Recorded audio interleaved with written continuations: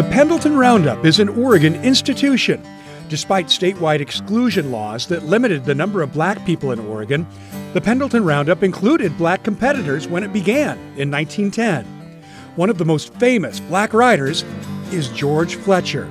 He moved from Kansas to the Umatilla Reservation as a young boy with his mother and learned to ride.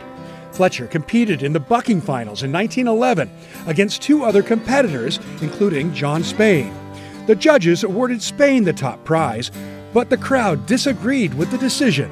Because the crowd was kind of up in arms about it all, they took George's hat and they cut it up in pieces and sold pieces of the hat to raise enough money to have a championship saddle equal to John Spain's made for George.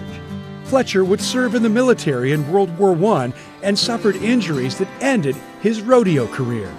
Fletcher passed away in 1973. In his honor, there's now a statue of him on Main Street in Pendleton.